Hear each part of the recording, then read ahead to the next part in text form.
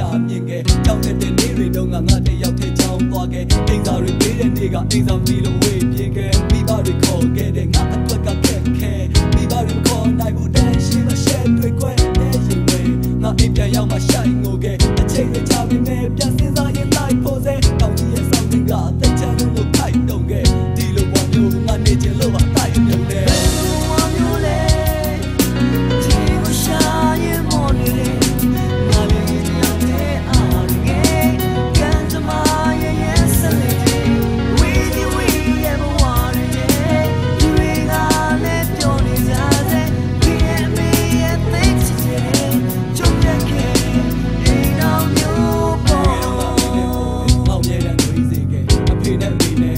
ကိုငြိမ်းလို့ပြီးစေခဲ့လူရထွေးပွေခဲ့နေနဲ့ညတော့ပြီးနေခဲ့အထွေးတွေနဲ့ငါတယောက်တည်းဆွေးနေခဲ့ချစ်တဲ့ဟိုရင်ချိန်ကတယောက်နဲ့တယောက်သိချင်လို့တဲ့ဘော်ဒါတွေမတိုက်ဆိုင်တော့ပြန်ပြန်လန်လန်ပြေဖို့ခဲ့အမေကမြင်မျိုးခဲ့ရှင်းလို့တဲ့ချစ်လို့တဲ့ငါမျက်နှာငယ်တာနှစ်ချို့ခဲ့မိကိုသိဝမ်းတဲ့ကြောင့်ငါချင်းတစ်ပုံလုံးရှိထားတယ်လိုမျိုးပြချထားခဲ့မယ်ဆိုဘာကြောင့်များမိမွေးထားလဲဒီဘဝကြီးရဲ့အသက်ရှင်ခွင့်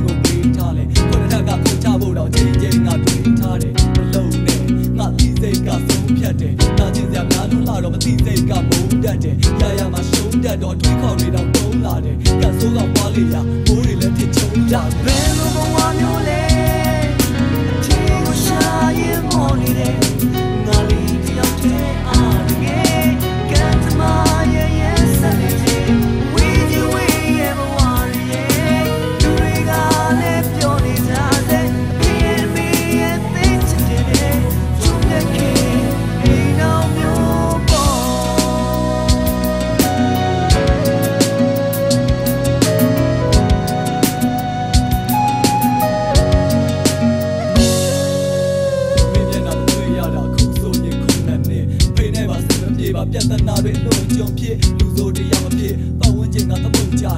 ရှုံချတယ်ငါသိငယ်လာအောင်လုပ်ကြတယ်ဟုတ်ကဲ့ပါအမေရဲ့ကျွန်တော်ကသိုးမဲပါဒါပေမဲ့စိုးတက်လာအောင်ဘသူတွေအယောင်ဆိုးခဲ့တာဝမ်းနေတာရိုးတဲ့ကငါစိတ်တွေညှိုးခဲ့တာမျက်ရည်တွေလဲ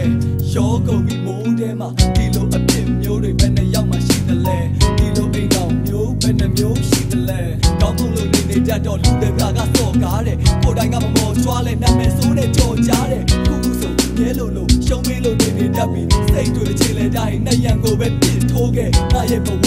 အဖေမေကွဲတာဖြစ်ဆိုးတယ်ဒါပေမဲ့လည်းငါအိယာဝင်နိုင်ရှင်းခေါ်စေဘယ်လိုဘဝ